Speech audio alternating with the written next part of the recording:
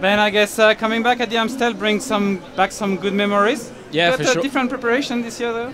Yeah, yeah, for sure. I mean, I, I didn't break my hand this year, so uh, yeah, I, I had maybe more traditional preparation, and uh, yeah, I've worked hard to be in my best shape here. So uh, yeah, let's hope I can I can show that on the road. Best shape from Amstel Gold Race, or you aim more Liège-Bastogne-Liège? Uh, Yeah, I mean, it's it's more over this week, you know. Uh, I, I if I'm good this weekend, I hope I'll be good next weekend as well. You have in the team, you have some cars with yourself, with Marijn van den Berg. To win, both of you need different uh, circumstances of races.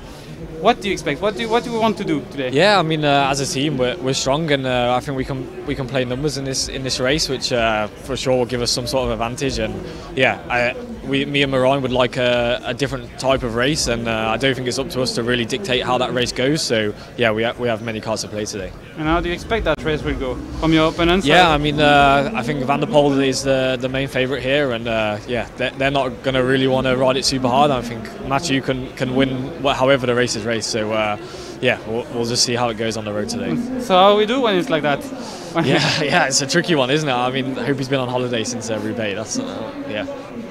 Thank you, Ben. Best of luck.